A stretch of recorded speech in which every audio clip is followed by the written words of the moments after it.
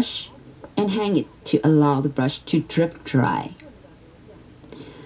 Do not put the brush out to dry in the sun. Place it in a cool, ventilated place to dry.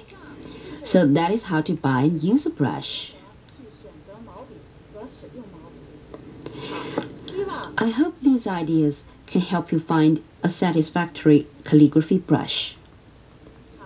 Now, in the following segment, we can practice together. Practice with me.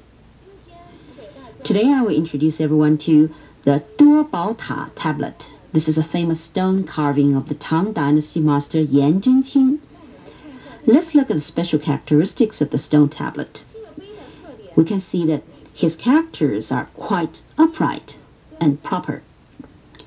Yan Zhenqing was an official injured by a treacherous member of the court. His characters reflect his personality and have been named Yan style calligraphy. Later generations said that looking at his writing is like looking at the man himself. His work inspires reverence and awe. So when we write in his style, we must pay attention to this generosity and strength.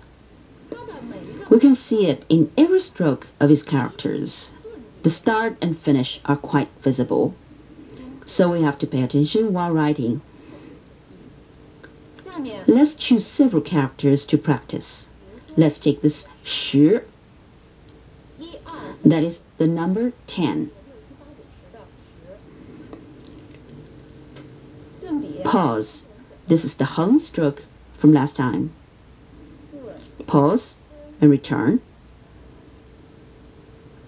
The start and pause are obvious.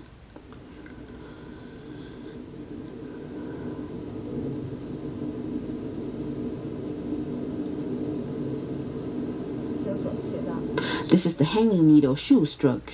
Hanging needle shu. Another example. Let's try li, meaning strength. This is a go stroke, then a pie stroke. Pause. Lift press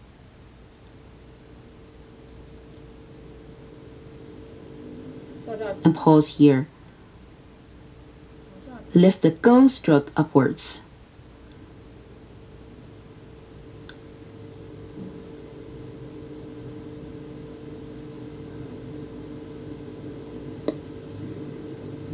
This pie stroke makes it complete.